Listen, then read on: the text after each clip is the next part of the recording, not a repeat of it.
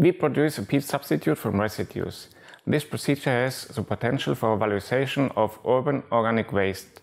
Exact composition doesn't matter and seasonal variations are tolerated.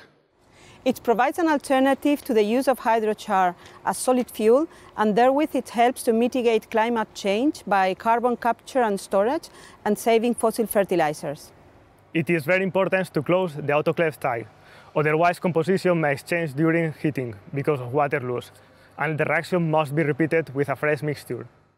Don't care too much about the residual pressure after hydrothermal carbonization. Working with biomass, it is unpredictable. We observe both very low and very high residual pressures. The bed for the thermal treatment has to be thin.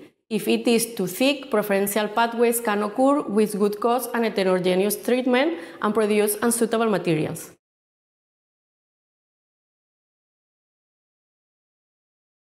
To begin, select the biomass from kitchen leftovers such as fruit peels or inedible vegetable parts.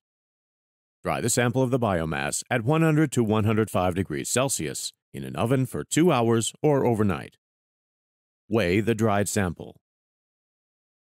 Calculate the suitable amounts of water and biomass for the reaction mixture. Have the reaction mixture volume half of the volume of the autoclave, and the water content during hydrothermal carbonization as 85 weight percent.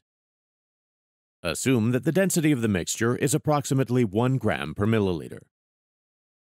Introduce the biomass and water into the autoclave, which is provided with a rupture disc and set at a burst pressure of 50 bar. Close the autoclave and open the nitrogen.